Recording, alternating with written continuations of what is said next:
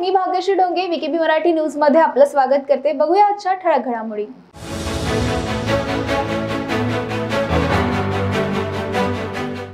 सौरभ महाकालने सलमान खान धमकीपत्राबाबत चौकशीत दिली माहिती अनेक धक्कादायक खुलासे महाकाल याने केले.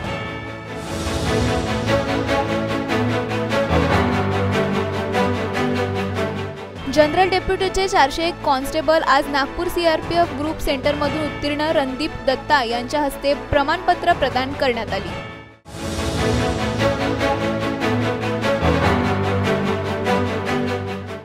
आणि नाना पटोले यांची भाजपवर टीका बाबडीची झाडं लावली की काटेच उगवणार.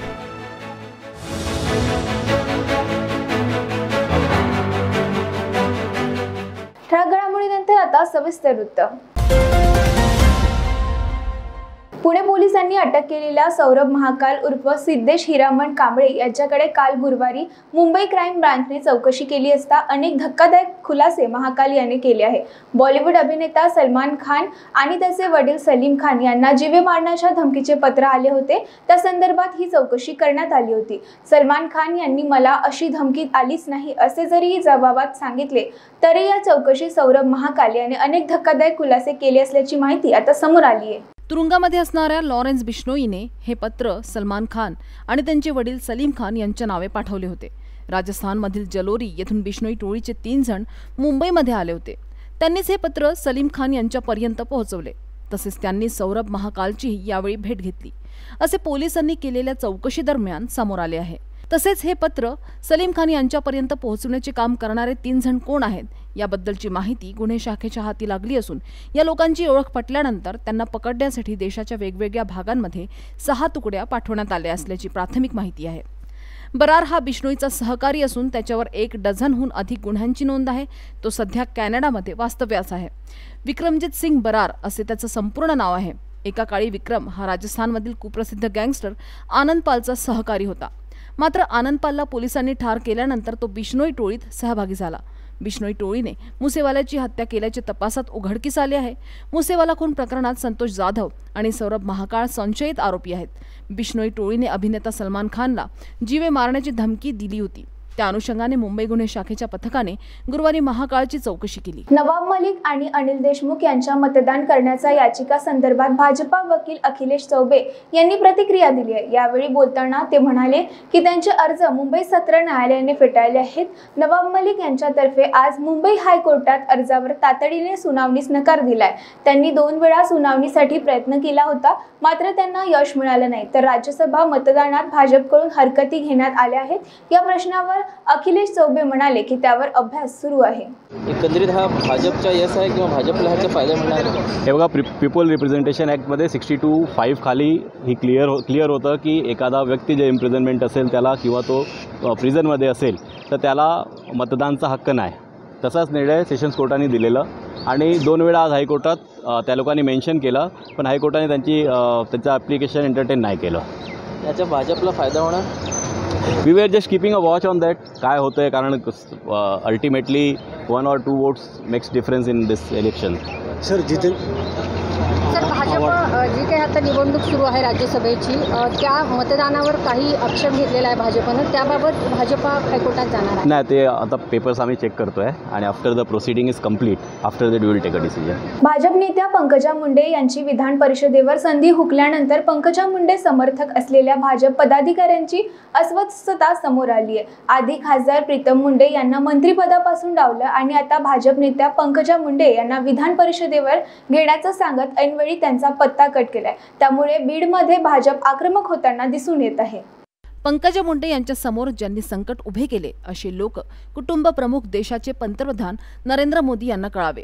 यासाठी भाजप पदाधिकाऱ्यांनी बीडच्या कनकालेश्वर मंदिरात नरेंद्र मोदी यांच्या प्रतिमेला दुग्धाभिषेक घालत साकडे घातले. यावेळी हर हर महादेव पंकजा मुंडे तुम आगे बढो अशा घोषणांनी कंकालेश्वर मंदिर परिसर दणानून गेला होता. भाजप प्रदेशाध्यक्ष चंद्रकांत पाटील यांनीच पंकजा मुंडे यांना विधान परिषदेवर घेण्यासाठी मीडिया ट्रायल केला होता.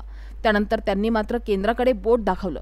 त्यामुळे पंकजाताईंना उमेदवारी का मिळाली नाही? याचे उत्तर चंद्रकांत पाटील यांनीच द्यावं. अशी नाराजी बीड भाजप अधिकाऱ्यांमध्ये दिसून आली. दरम्यान दोन दिवसानंतर पंकजा मुंडे हे माध्यमांसमोर बोलणार आहेत.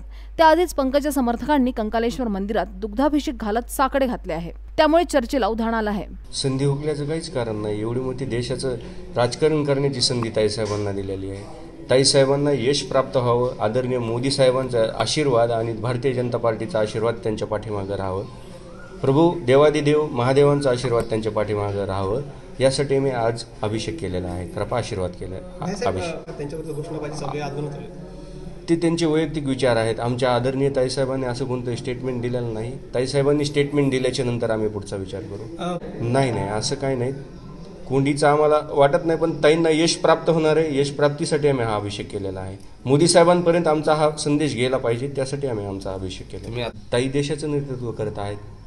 त्यामुळे आम्ही देशाच्या पंतप्रधानापाशी आमचं आशीर्वादाचा अभिषेक केलेला आहे. तुम्ही शनी पण म्हणला शनी नेमका कोण वाटतं? शनी साडेसाती वेगवेगळ्या प्रकारचे आहे. शनी हे नाव एका व्यक्तीला देता येत नाही.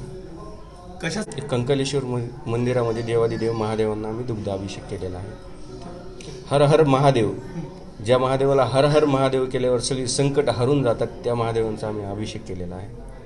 आज असं प्रश्नचिन्ह उपस्थित केलं आहे की ताईंना कुठेतरी टाळलं जाते ते प्रश्नचिन्ह आम्हालाही वाटू नयेत किंवा कार्यकर्त्यांना वाटू नयेत ती संक ते प्रश्नचिन्ह दूर व्हावेत यासाठी आम्ही आज अभिषेक आहे. केंद्रीय राखीव पोलीस दल सीआरपीएफ मधील जनरल ड्युटीचे चारशे एक कॉन्स्टेबल आज हिंगणा नागपूर येथील सीआरपीएफ ग्रुप सेंटर मधून उत्तीर्ण झाले असून त्यांना पासआउट करण्यात आलंय. जनरल ड्युटीच्या चारशे एक कॉन्स्टेबलने चौवेचाळीस आठवड्यांचे बहुशिस्तीचे कठोर प्रशिक्षण त्यांनी घेतले आहे. सीआरपीएफ ही देशाची सर्वात मोठी निमलष्करी दल असून अंतर्गत सुरक्षेची जबाबदारी सांभाळत आहे. आज पासिंग आउट परेड समारंभात सीआरपीएफच्या वेस्टर्न सेक्टरचे पोलीस महानिरीक्षक रणदीप दत्ता यांनी मानवंदना घेतली आणि पथसंचालनाचे निरीक्षण केले. रणदीप दत्ता यांच्या हस्ते विविध विषयात सर्वोत्कृष्ट कामगिरी करणाऱ्या प्रशिक्षणार्थींना प्रमाणपत्र आणि ट्रॉफी प्रदान करण्यात आली आहे. यावेळी त्यांनी सीआरपीएफ भारताची अखंडता राखण्यासाठी कटिबद्ध आहे. या परेडमधून उत्तीर्ण झालेले जवान देशाच्या नक्षलग्रस्त भागात तसेच संवेदनशील असणाऱ्या जम्मू काश्मीर तसंच ईशान्य भारतात तैनात केले जातात असेही सांगितलं. यावेळी नवीन उत्तीर्ण झालेल्या हवालदारांना सिंक्रोनाइज ड्रिल आणि मार्शल आर्ट्सच्या प्रात्यक्षिकांनी उपस्थितांना मंत्रमुग्ध केले. यावेळेला सीआरपीएफ अधिकारी देखील मोठ्या प्रमाणात उपस्थित होते. यावेळी जवानांच्या परिवारातील सदस्य देखील मोठ्या संख्येने सहभागी झाले होते. बहुत हमेशा से योगदान रहा है और ये जो चार सौ एक आए हैं मैं कह सकता हूँ कि जितनी भी ट्रेनिंग हो रही है आज की डेट में सीआरपीएफ में पूरी जगह उसमें से सबसे बेस्ट सबसे बढ़िया लोग और इतनी गर्मी के बावजूद और आपने देखा होगा कि देखिए इतनी आंधी तूफ़ान आई रात को किला गिरा उठाया फिर किया। ये सब लड़कों का योगदान है। इतनी गर्मी के बाद ये जो ग्रीन देख रहे हैं इसी से आपको लगता होगा कि मेहनती और बढ़िया इतने अच्छे ढंग से जो ट्रेनिंग दी गई है और आपने इनका परेड देखी मार्च पास्ट देखा इन लोगों का और आज आप परिवार वालों को जो देख रहे हैं कितने परिवार वाले हैं? कम से कम पाँच से दस हज़ार लोग आज बैठे हुए हैं यहाँ पर। और सब महाराष्ट्र वाले हैं। हर परिवार से पाँच पाँच, दस दस सदस्य आए हैं जो ये चार सौ हैं। तो चार अगर पाँच के हिसाब से भी लगाए, दो हज़ार के करीब तो परिवार के सदस्य आ रखे। हैं मैं प्रशांत जमोलकर सुभाष, जो ट्रेनिंग इंस्टीट्यूशन को संभाला इतने हफ़्ते की ट्रेनिंग दी है, इनका की, इनका भी बहुत बड़ा, इनको भी मुबारकबाद देता हूँ कि इन्होंने इतने अच्छे महाराष्ट्र के लड़कों को ट्रेन है जो सी आर पी एफ़ में शामिल हो गए हैं। अब ये पूरे देश में नक्सलाइट अफेक्टेड एरिया में आपके जे एंड के में नॉर्थ ईस्ट में ये अपना योगदान देंगे और देश का नाम रोशन करेंगे। सर क्या संदेश देना चाहेंगे मैं यही बताना चाहता हूँ कि हम सीआरपीएफ हमेशा ही देश की अखंडता प्रभुता को बनाए रखा है और हम देश की आज़ादी के लिए शुरू से 1939 से लेकर आज तक अगर सीआरपीएफ का आप देखेंगे इतिहास कि हमने हमेशा ही देश के लिए अच्छा कार्य किया है और आगे भी जैसे भी भारत सरकार द्वारा आदेश दिया जाएगा हम अपनी निष्ठा सेवा भक्ति के साथ कार्य करते रहेंगे वेळ झाली आता एका छोट्याशा विश्रांतीची. भेटूया विश्रांतीनंतर. बाय सब जानना चाहते हैं। मेरा फेवरेट कलर मेरा फेवरेट डेस्टिनेशन मेरी फेवरेट डिश पर कोई ये नहीं पूछता कि फेवरेट डिश मैं बनाती कैसे हूँ।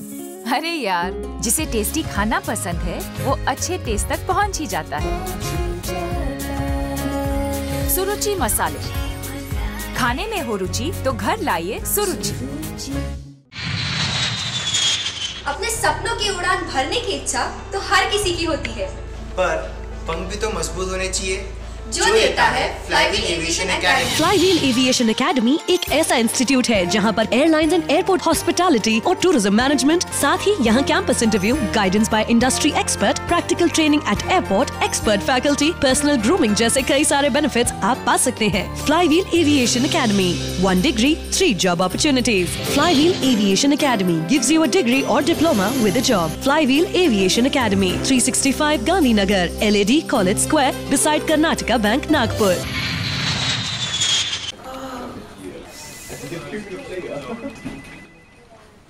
boss ने मीटिंग बुलाई।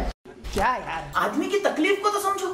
बाहर बाहर उठो बैठो उठो बैठो। जनाब तकलीफ़ उठने बैठने की नहीं।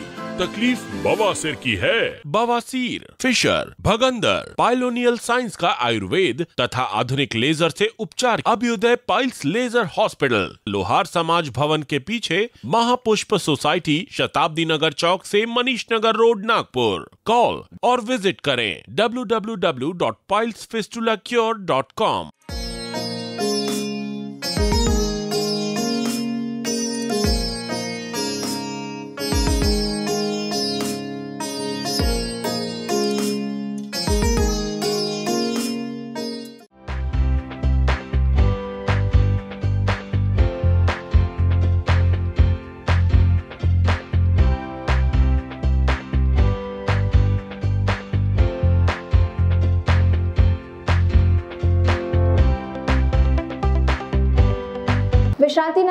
स्वागत. नागपूर गणेशपेठ पोलीस स्टेशन अंतर्गत येणाऱ्या भागांमध्ये रात्री अकरा वाजता वैयक्तिक वादातून दोघांमध्ये मारहाण झाल्याची घटना समोर आली आहे. यामध्ये चार आरोपींना अटक केली असून फरार आरोपींचा शोध पोलीस घेत आहेत. पोलीस स्टेशनला फिर्यादी अनिकेत राजू बडगई वय सत्तावीस वर्ष राहणार पारडी यांनी रिपोर्ट दिलेली आहे की त्या काल दिनांक नऊ तारखेला रात्री अकरा वाजता सुमारास ते आपल्या घरी परत जात असताना काकाकडे तिथे त्याच्या घराजवळ काही लोकांची गर्दी दिसली. त्याच्या मोहल्ल्यामध्ये राहणारे दोन तीन इसम होते. त्या मुलांना कोणीतरी मारहाण करत होते. म्हणून झगडा सोडण्यासाठी तिथे गेला होता. आणि झगडा सोडत असताना त्या झगड्यामध्ये हजर असलेले काही लोकांनी त्याला लाकडी दांड्याने मारहाण केलेली आहे आणि त्याच्या डोक्यावर एक जखम झालेली आहे. याबाबत त्याच्या तक्रारीवरून पोलीस स्टेशनला राईटच्या सेक्शन व्यतिरिक्त कलम तीनशे चोवीस बातमीप्रमाणे गुन्हा दाखल करण्यात आलेला आहे. यामध्ये एकूण किती आहेत आपण आपण रिस्पॉन्ड केले. अटक केले आहे का त्यांना आरोपींच्या आणि अटक आरोपींचा काही यापूर्वीचा काही रेकॉर्ड आहे? आरोपींचा पूर्व इतिहास नाही. ते वस्तीत राहणारे स्थानिक नागरिक आहेत. यांच्यावर गुन्हे दाखल नाहीत. आणि त्याच्यामध्ये एकूण चार आरोपी यांना आपण आतापर्यंत अटक केलेली आहे. आणि इतर आरोपीचा शोध घेणे सुरू आहे. अटक आरोपीमध्ये मोहम्मद इम्रोज मोहम्मद युनुस उर्फ राजा वय पस्तीस वर्ष. हा बालदारपुरा राहतो. दुसरा आहे मोहम्मद इम्रान मोहम्मद इक्बाल उर्फ इम्मा वय छत्तीस वर्ष. तिसरा आहे सुफियान राजा मुस्त्याक अहमद उर्फ सोफी. आणि ती चौथा आहे शेख मोहम्मद शेख शहनावाज शेख इर्शाद. हे सर्व भालदारपुरा वस्तीत राहणारे इसम आहेत. नवी मुंबईमधील पनवेलमध्ये नुपूर शर्माचा निषेध व्यक्त करण्यासाठी तहसील कार्यालयावर मुस्लिम समाजाने भव्य मोर्चा काढला होता. यावेळी हजारो मुस्लिम बांधव आणि महिला मोर्चामध्ये सहभागी झाल्या होत्या. तर नुपूर शर्मावर कठोर कारवाई करण्याची मागणी करणारे निवेदन देखील तहसीलदारांना यावेळी देण्यात आले.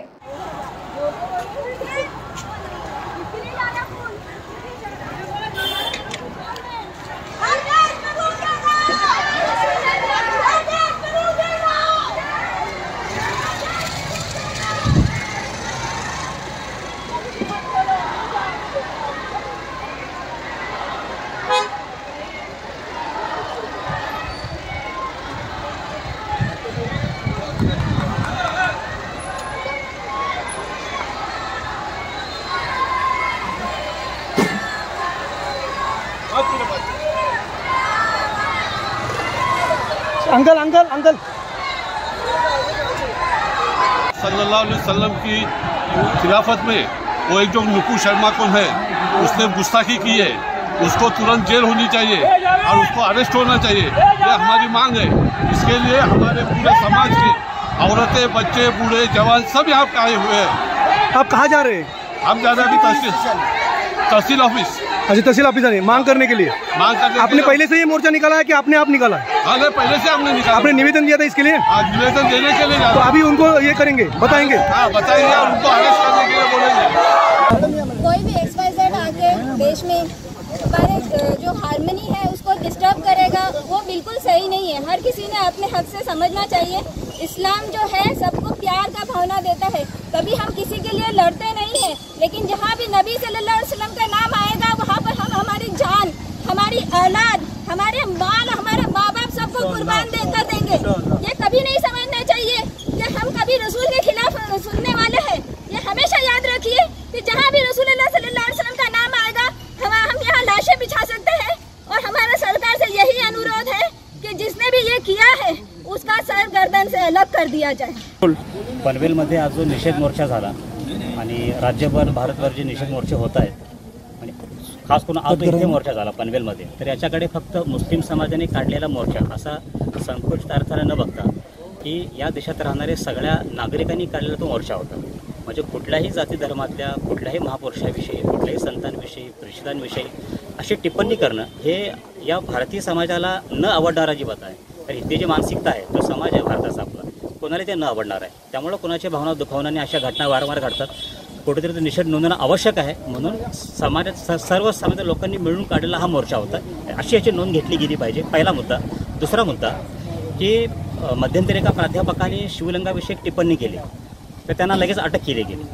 आणि पैगंबरांविषयी इतकी अभद्र टिप्पणी केल्यानंतर त्यांना अजूनही संरक्षण पुरवलं जातं आहे म्हणजे खेदाची बाब आहे. आणि म्हणून अशा लोकांना अटक तर केलीच पाहिजे. कारवाई तर झालीच पाहिजे. पण त्याच्याशिवाय त्याच्याही पलीकडं कुठल्याही जाती धर्मातल्या भावनांविषयी श्रद्धांविषयी श्रद्धास्थानांविषयी किंवा महापुरुषांविषयी टिप्पणी होत असेल तर त्यांच्यावर कडक बंदोबस्त व्हावा त्यावर कारवाई असं एखादा कायदा शासनानं संमत करावा यासाठी हा मोर्चा होता ये जो हमारे नबी वसल्लम के, के सामने उसको हम बर्दाश्त नहीं कर सकते। ऐसे व्यक्ति को जेल अच्छा उन्होंने जो किया गलत अब तक होता है। बिल्कुल बहुत गलत किया है। क्या करेंगे? मांग क्या करेंगे? यही इनको जेल में डालें। अच्छा आप अभी कहाँ पे जा रहे हो? अभी हम लोग तहसील में जा रहे हैं। अच्छा निवेदन देने के अच्छा ये हज़ारों में पहले से फिक्स किया मोर्चा किया था? तो अच्छा। क्या मांग है आप यहाँ पर निवेदन देने के लिए आए थे? इतना बड़ा आपने मोर्चा निकाला क्या? हमारी एक ही मांग है हमारे में बोले। किसने कहा क्या क्या लोगों ने कहा है, उनका नाम भी हम जबान पे लेना नहीं चाहते, ऐसे लोगों का, जो समाज में गिरे हुए लोग हैं, जो समाज में गिरे हुए लोग हैं, ऐसे लोगों का नाम भी लेना नहीं चाहते हम। बस हमने जो निवेदन दिया है कि ऐसे बुरे लोगों को जो है ना हमेशा के लिए बंद करें, आइंदा ताकि जो है सारे समाजों में जोड़ पैदा हो। ये गलत जुमले जो है समाजों को तोड़ पैदा करते, दिलों में फटन पैदा करते, दिलों को फाड़ते हैं। तो हमारा निवेदन है हमेशा के लिए ये गंदे जुमले जो है किसी के मज़हब के बारे में। इसलिए कि हर एक का मज़हब हर एक को प्यारा है कोई किसी के मज़हब में बुरा नहीं बोले। किसी के मज़हब बोले को बुरा नहीं बोले। ये हमारा निवेदन है। अभी हम निवेदन देके जो है खामोशी के साथ जाने वाले हैं। आपने निवेदन में क्या मांग की है? यही मांग की है कि जिन्होंने बुरा बोला है उसको उसकी सजा मिले। बस यही हमारी मांग है। आपको क्या उत्तर मिला है प्रशासन की तरफ़ से उत्तर मिला है कि जल्द से जल्द उनको सजा दी जाएगी। और वो हमको उम्मीद है कि प्रशासन हमारे साथ जो है सही मामला करेगा हक का मामला करेगा और जो जिन्होंने गलती किया उसको सजा देगा। काँग्रेस नेते नाना पटोले यांनी राज्यसभा निवडणूक संदर्भात प्रतिक्रिया देताना बाबळीची झाडे लावली की त्याला काटेच उगवणार. आंबे कसे लागतील असे म्हणत भाजपाला टोला लगावलाय. आम्ही पूर्ण चारचे चारही उमेदवार महाविकास आघाडीचे निवडून येतील अशा पद्धतीची स्थिती आज आहे. मतदानाचा कौल पण तसाच आहे. आम्ही आमच्या उमेदवाराला बेचाळीस मतं काँग्रेसच्या घेतलेली आहे. दोन मतं आम्ही संजय पवार यांना दिलेली आहेत. नाना एम आय एमला कसं कळायला लावलं तुम्ही?